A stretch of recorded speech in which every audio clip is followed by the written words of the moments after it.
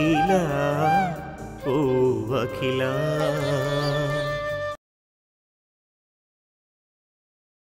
ఇప్పుడు బయలుదేరితేనే train correct టైంకి పట్టుకోగలుగుతాం. వెళ్ళామని మరీదాస్ గారితో చెప్పండి. ఆయనతో ఉన్న టైం రిలాక్స్డ్గా ఉంది. నేను నెక్స్ట్ టైం వచ్చేటప్పటికి నీకు వివాహం ఫిక్స్ అవుతుంది. కావాలంటే చూడు నా మాట ఫలిస్తుంది. అలాంటి కోరికలేం లేవక్కా. సన్యాసం పుచ్చుకుంటావా? ఏ నీకు పెళ్ళి చేసుకోవాలని లేదా? హ్మ్, అందరికీ అన్ని కోరికలు ఉంటాయి. కానీ కోరుకోవడానికి కూడా అర్హత కావద్దా? పాపం నాన్న. అసలే లలితక్క వివాహానికి తీసుకున్న అప్పులు తీర్చడానికే మూడు సంవత్సరాలు అవుతుంది. ఒకవేళ డబ్బు సమస్య తీరినా నేను ఇంట్లో వాళ్ళందరినీ వదిలి ఉండగలనన్న నమ్మకం లేదు.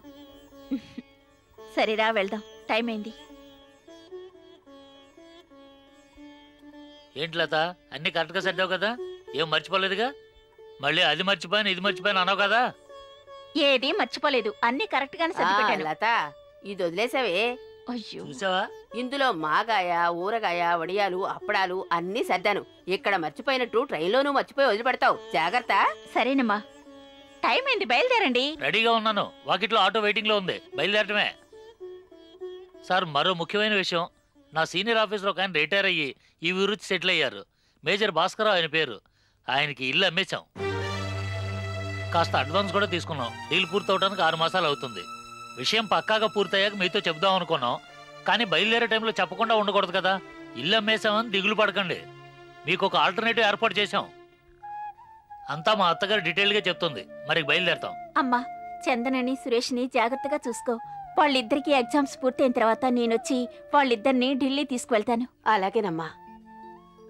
మీ అమ్మ వాళ్ళిద్దరిని ఎంతో పద్ధతిగా పెంచుకొస్తుంది. చదువులో కూడా ఇద్దరు బాగానే ఉన్నారు. అదంతా సుందరం గారు చూసుకుంటారు.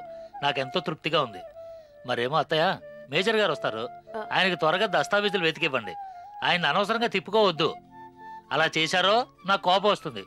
ఏంటి అర్థమైందా? ఆ, ఇచ్చేస్తాను. సరే బయలుదేరదాం. సరే పదండి. వస్తామమ్మా సరే.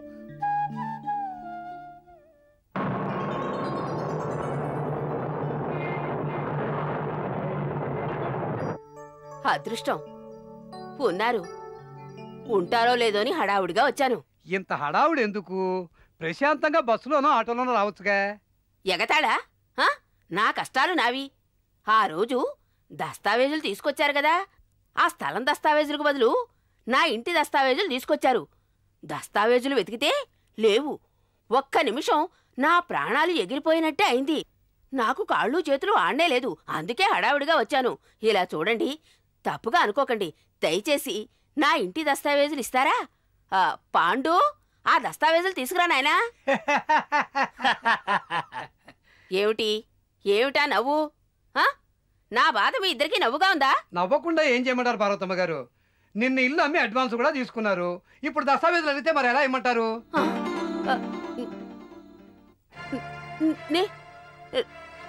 నేను ఇల్లు అమ్మానా?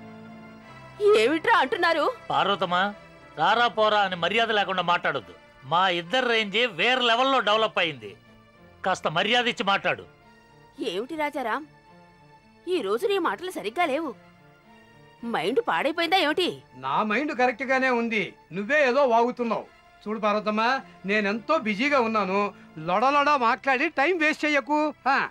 నేనెందుకు నీతో మాట్లాడాలి? నా ఇంటి దస్తావేజులు ఇచ్చేస్తే నా దాన్ని నేను పోతానుగా? అది వదిలి కథలు చెప్తావేమిటి? నీ ఉద్దేశం ఏమిటి అసలు ఇంతకీ? చూడు పార్వతమ్మ నీ ఇల్లు నాకు రెండు లక్షల రూపాయలకి అమ్మావు. దానికి యాభై వేలు అడ్వాన్స్ కూడా తీసుకున్నావు. బ్లాక్లో ఇంకో యాభై వేలు తీసుకున్నావు. మిగిలిన డబ్బు రిజిస్ట్రేషన్ రోజు సంతకం పెట్టి తీసుకెళ్ళు. అదొదిలి లొడలా వాగుతున్నావేంటి? ఆరు వెధవ పెనుగులారా ఏదేదో వాగుతున్నారు. నాకేమీ అర్థం కావడం లేదు. పార్వతమ్మా ఏం వాగట్లేదు. నువ్వే స్పృహలో లేనట్టుగా మాట్లాడుతున్నావు. ఒరిజినల్ డాక్యుమెంట్స్ మా దగ్గర ఉన్నాయి. అడ్వాన్స్ తీసుకున్నట్టు సంతకాలు కూడా పెట్టించావు మరి దాంతో పవర్ ఆఫ్ అటార్నీ కూడా రాసిచ్చావు. ఇక నువ్వేమీ చేయలేవు. అయ్యో అయ్యో నన్ను ఈ విధంగా మోసం చేశారే. నాశనం అయిపోతారా అయ్యో నా బుర్ర పగిలిపోతోంది.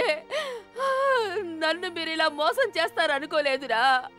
అయ్యో మా అల్లుడు అడిగితే ఏం సమాధానం చెప్పను? ఏం సమాధానం చెప్పను? అయ్యో. ఏమ్మా ఆఫీస్లో కూర్చొని ఎందుకు ఏడుస్తావు? ముందు నువ్వు లేచి బయటికి వెళ్ళు. నన్ను మోసం చేసి నా ఆస్తి కాజేసింది కాకుండా నన్ను బెదిరిస్తున్నారా? ఇలా చూడండి. మా అల్లుడు మిలిటరీ మ్యాను. ఆయనతో చెప్పి మీ ఇద్దరిని నేనేం చేస్తానో చూడండి. ఏం చేస్తావేంటి? ఇప్పుడే తిన్నగా పోలీస్ స్టేషన్కి వెళ్ళి ఓ కంప్లైంట్ ఇస్తాను. మిమ్మల్ని మక్కలిరగొట్టిస్తాను నా ఆస్తి నేను తిరిగి తీసుకోలేదో? నా పేరు పార్వతి కాదురా. పార్వతి కాదు. పాండు పార్వతమ్మ ఇంట్లో ఇద్దరు పిల్లలు ఉన్నారే వాళ్ళెవరు? ఆవిడ మనవడో మనవరాలు గురు. వాళ్ళ గురించి డీటెయిల్స్ ఏమన్నా నీకు తెలుసా?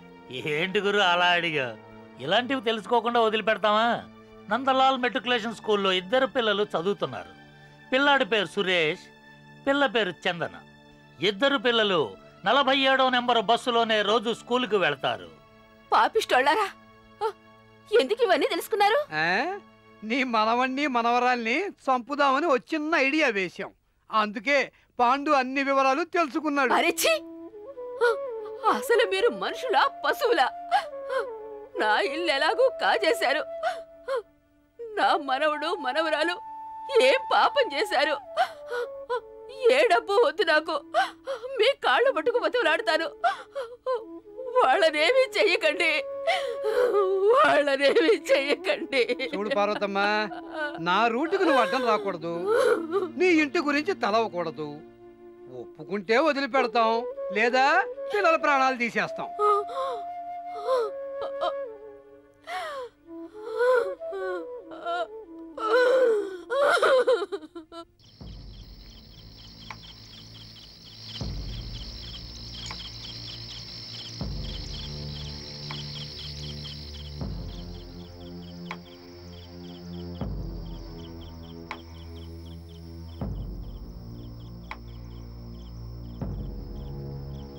మామా?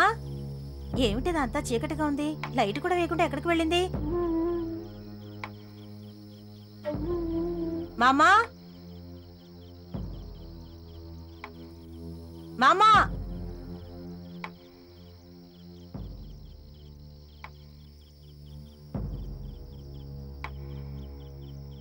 మామా?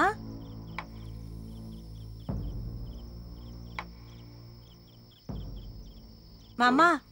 ఆ, ఎవరు? ఎవరు? పిల్లలు. ఏమిటి ఏడు గంటలకు లైట్ ఆఫ్ చేసి పడుకున్నా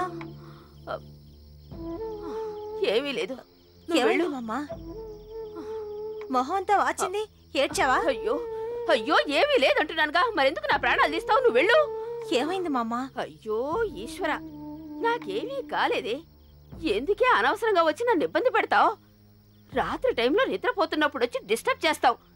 ఏమే నాకు తెలియక అడుగుతాను. నువ్వేమన్నా నాకు కావలసిన దానివా చుట్టానివా పక్కానివా? ఎందుకు మా అమ్మ మా అమ్మ అంటూ కాలు కాలిన పిల్లిలా నా చుట్టూ తిరుగుతూ ఉంటావు? అయ్యో కాస్తైనా రోషమే రాదా? ఎవరికైనా సరే ఒక మాట అంటే చాలు. రోషం పట్టును పొడుచుకొస్తుంది. ఏయ్ నీదేం జన్మో తెలియడం లేదు. కాస్త కూడా సిగ్గు శరము ఏమీ లేదు. ఉప్పు కారం తింటున్నావా? లేక ఇంకేదైనా? ఇప్పుడు నేనేం అడిగానని నువ్వు ఇలా మాట్లాడుతున్నావు? నువ్వు మర్యాదగా వెళ్తావా లేదా? బయటికి వెళ్ళు. అయ్యో వెళ్ళానా లైట్ ఆఫ్ చేసి తలుపు వేసుకో. అదే పనిగా వచ్చి నన్ను విసిగించొద్దు. వెళ్ళు.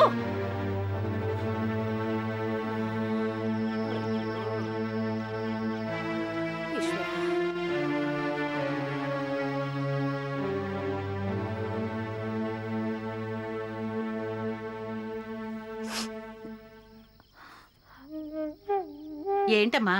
నువ్వు మా అమ్మ ఇంట్లో ఉంటావనుకున్నాను? ఇక్కడ కూర్చున్నావేమిటి? అక్కడి నుంచి ఇప్పుడే వచ్చాను.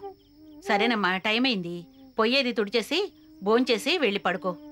నాకిప్పుడు ఆకలి లేదు. నువ్వు వెళ్ళి ఫోన్ చేసి పడుకో. ఏమిటి అఖిల? ఉదయం నుంచి సాయంత్రం దాకా గొడ్డులా పనిచేస్తున్నావు. పెందలాడే భోంచేసి పడుకోవచ్చు కదా?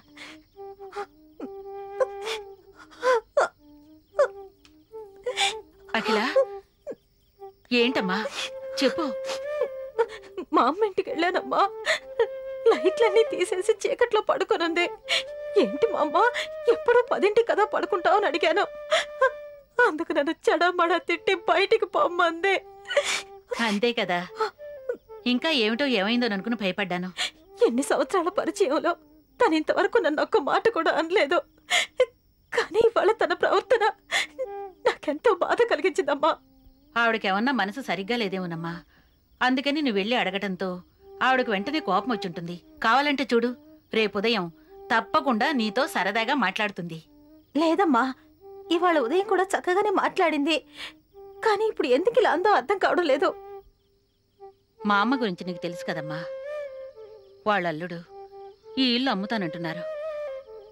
ఇన్ని సంవత్సరాలుగా ఈ ఇంట్లోనే ఉంటుంది! పాపం. ఇప్పుడు మనల్ని తీసుకో. మనం ఇంట్లోనేగా అద్దెకుంటున్నాం. ఏదో ఒక రోజు ఖాళీ చేయాల్సిందేగా. అయినా తట్టుకోగలమంటావా? ఆవిడ అంతేగా. ఒకవేళ తిట్టినా ఏంటమ్మా? మా అమ్మే కదా. మనసులో ఏం పెట్టుకోకు. వెళ్ళి ఫోన్ చెయ్యి చెప్పేది విను వెళ్ళు. సరేరా నేనే వడ్డిస్తాను. రా. లేమా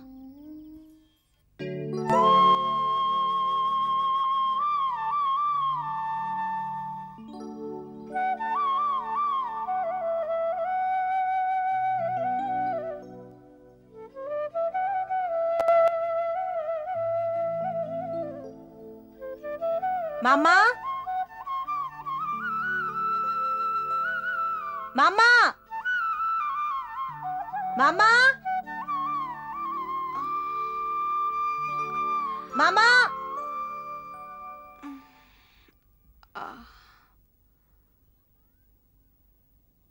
మామా? మామా? రే మా అమ్మ ఇంకా లేవలేదా? ఏమైంది ఒంట్లో బాలేదా? ఏయ్ ఏమిటే ఇద్దరు నిద్రపోతున్నారు? ఇప్పుడు టైం ఎంతైందో తెలుసా? స్కూల్కి వెళ్ళక్కలేదా స్కూల్కి వెళ్ళకూడదు ఇల్లు వదిలి బయటకి వెళ్ళకూడదని చెప్పింది. ఈవేళ బామ్మకి ఏమైందో తెలీదు. రాత్రి మొత్తం ఏడుస్తూనే ఉంది. ఎందుకు ఏడుస్తున్నావని అడిగితే కొట్టిందక్క. అక్క మాకు ఆకలిస్తుందక్క. రాత్రి బామ్మ మాకేం పెట్టలేదు. రాత్రంతా బామ్మ మమ్మల్ని కౌగిలించుకొని ఏడుస్తూనే ఉంది. ఇప్పుడే పడుకుందక్క. జరుగు. మామా? లేపకక్క. బామ్మ కోపంగా ఉంది. మాకు ఆకలిస్తుందక్క. కాఫీ పెట్టివవా మొహం కడుకొని రండి కాఫీ పెట్టిస్తాను.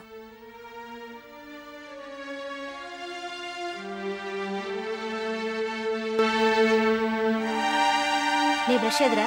ఇదక్క. ఇదిగో. కొంచెం చాలిటివో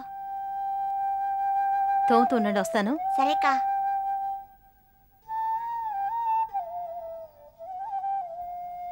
గాలి రాకుండా కిటికీలు మూసేసుకుంది.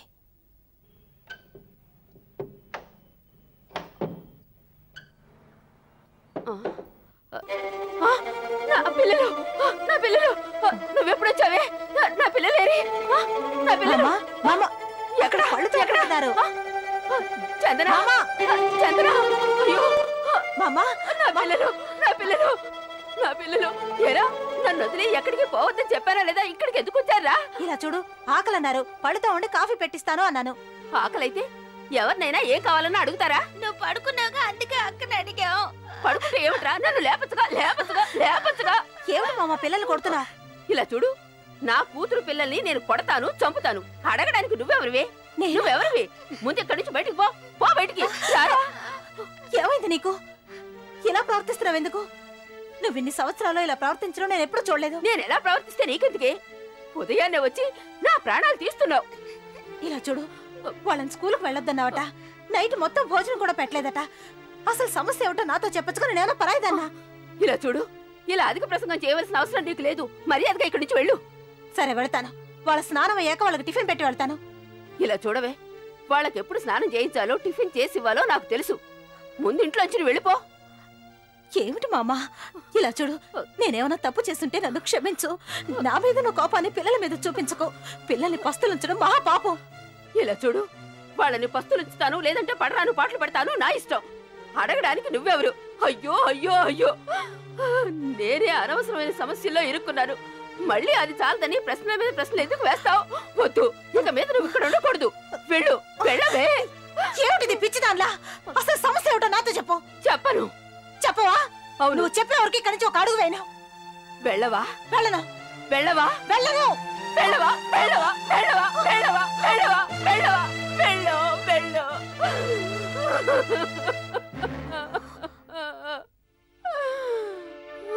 అఖిల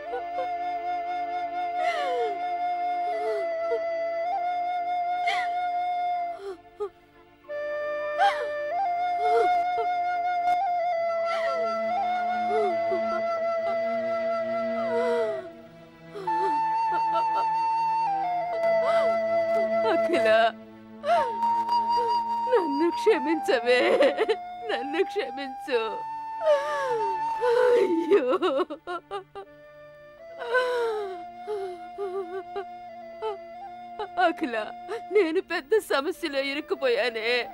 ఏం చేయాలో అర్థం కావడం లేదు. ఆ సమస్య ఏమిటో నాతో చెప్పు. ఊరి చివర నాకో స్థలం ఉంది. దాని పక్కనే శ్మశానం రాబోతోందని పేపర్లో చదివాను. అది చూసిన వెంటనే నాకెంతో భయం వేసిందే.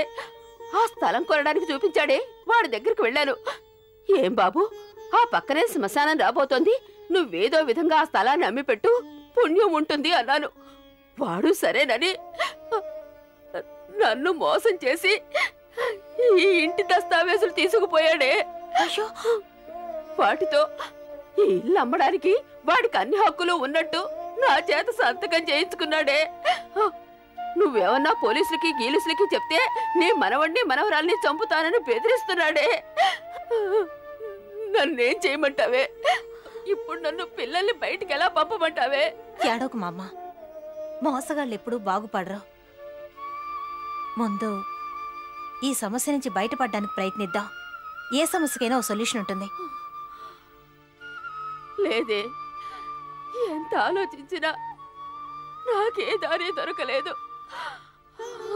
ఆలోచనలతో బుర్ర పాడే నాకు పిచ్చెక్కిపోతోంది.